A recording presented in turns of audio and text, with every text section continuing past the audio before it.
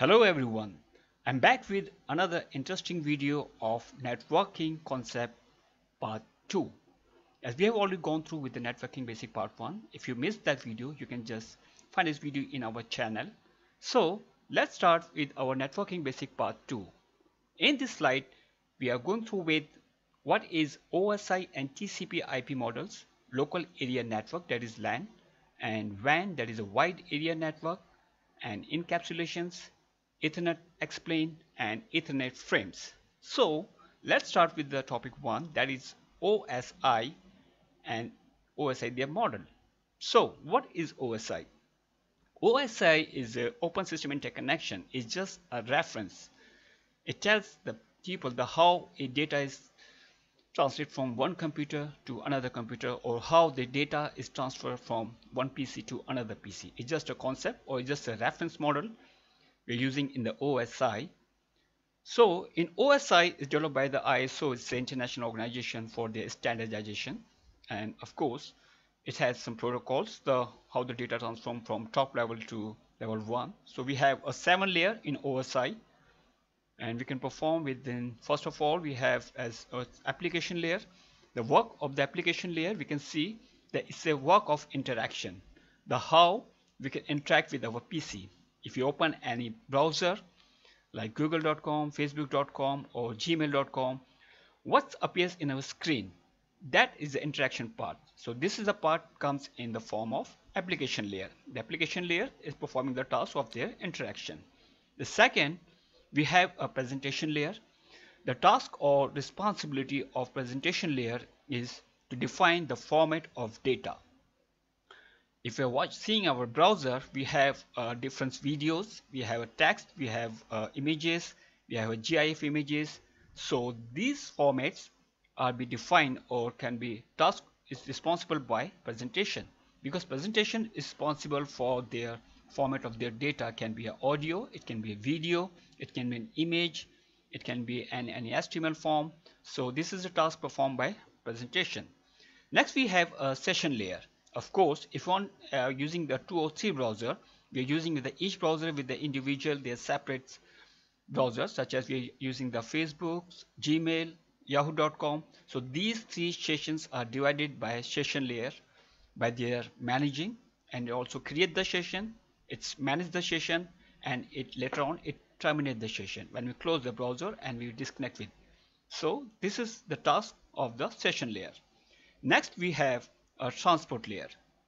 The transport layer plays a major role in OSI model because it provides end-to-end delivery of your data and your packets. It gives you assurance your data has been transmitted and been reached the point you want to access.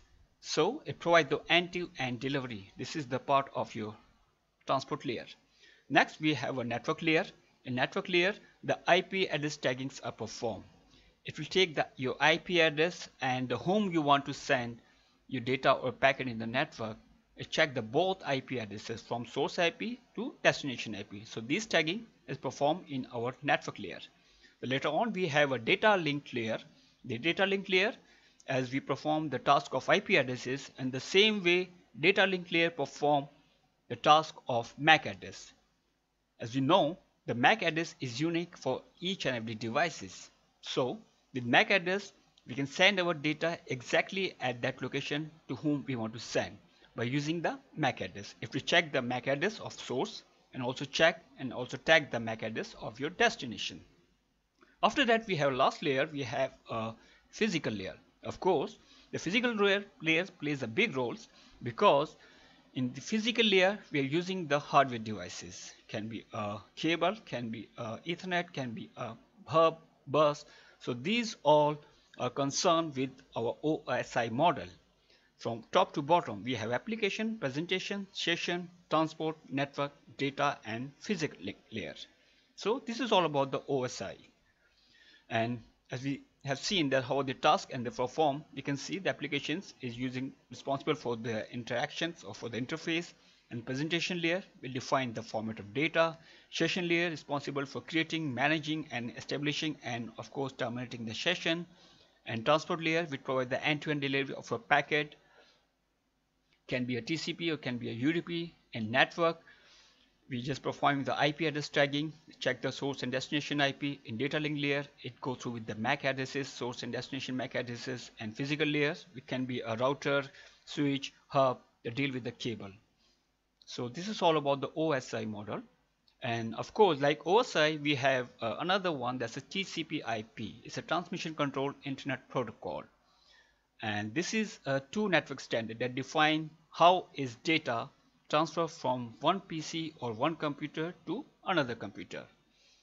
As we, as we know, it's created before the OSI model by the DARPA, that's a Defense Advanced Research Project Agency. Just like OSI model, so it's also described his uh, layers, but as in OSI it's a seven layers, but it's divided in four layers. The layers we divided in TCP IP, that's application, transport, internet, and network access. So these all layers are as we are performing the task as we have seen in the OSI. So each layer has their different task. Or we can say the OSI model. In these steps, we need to transfer data over the network flow in very specific manner, but in which we define our protocol used in the layer and how the data is transferred. It's also in OSI which prescribe the TCP IP model described related to TCP IP models.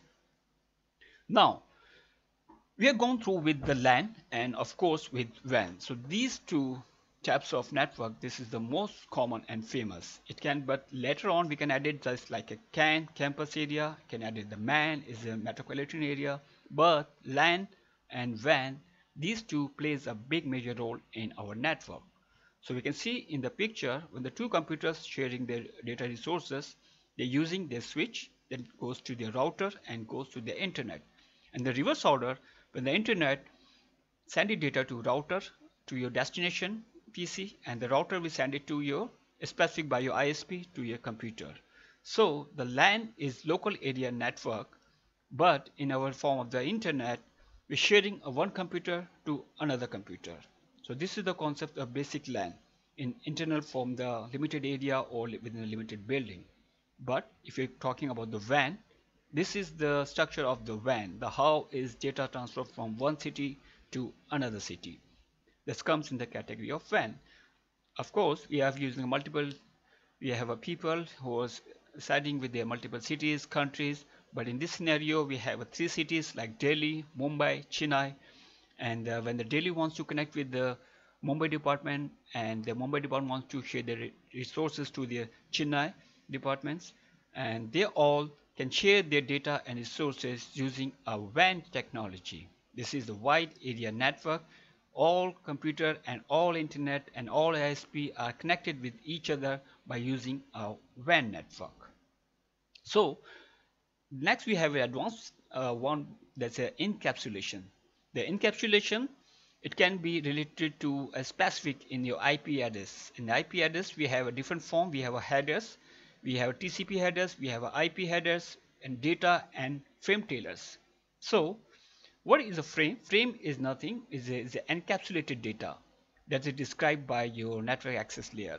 In same way we have a segmentation.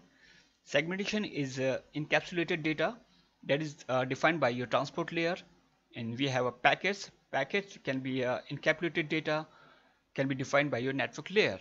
In packet, we have an IP of their source and their destination. In general, we can say the term encapsulation is a process of the adding headers, IP headers, TCP data, and frames in tailors. Can be if suppose you want to send an email, the work from start from the OSI from application layer to transport layer, and the application layer when the data is sent to transport layer, then transport layer encapsulate that data and further is sent it to next layer. So, so on, the next layer will perform the same task. It encapsulates that data and further pass on to your next layer. So this how the data is goes from in OSI model from top to bottom or bottom to top. On same way we have data encapsulated in OSI model. We have a difference. There's a PDU. That's a PDU is a protocol data unit. As you can see from the layer 7, layer 6, 5, 4, 3, 2, 1. That's the OSI models layer application, presentation, session, and further on data, network, and go on. So we can say the PDU of the process protocol data unit of layer 7 L7 PDU is data. From L7 to L6 we have following the data L5 data. We have a different headers of their PDUs and we can say in the TCP IP model term like a segments generally packets and frames refer to data but described in a particular layer. So in we can say this is a PDU that's a protocol data unit from in OSI model from top to bottom and we have another word we have gone through in this chapter. We have ethernet how we explain the ethernet. This is the most used in technology in networking. Now the day today we are using this technology. It's a vast technology increasing day by day. And ethernet is described by the IEEE 802.3 as a 802.3 stands in the use of the CSMA to avoid occlusion detections so the traffic cannot be collision in a very simple network. To avoid the detections of the collisions, we are using the IEEE standards. And we have Ethernet frames. In frames, we have SFD, we have destination MAC, we have a source MAC, we have a tabs, data, pads, SFCs. In short, we can describe SFD is a start frame of the delimiters and the source MAC address. That's a MAC address of your source to whom that data send it from. The destination, the computer, the the destination computer to whom we want to send the data. So this is the Ethernet frame as we can see then defined in a single scenario. It's Ethernet defined by the IEEE 802.3 Ethernet frame and their specific descriptions. You can see in the frame pictures it is the can be a data can be a pad can be a FCS so later we'll discuss and with all this in advance in our next slides.